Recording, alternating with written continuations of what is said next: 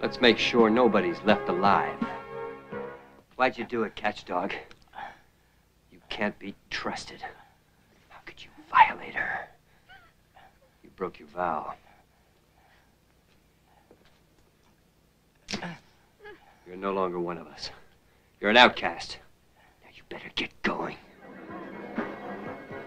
I want to know where you got this.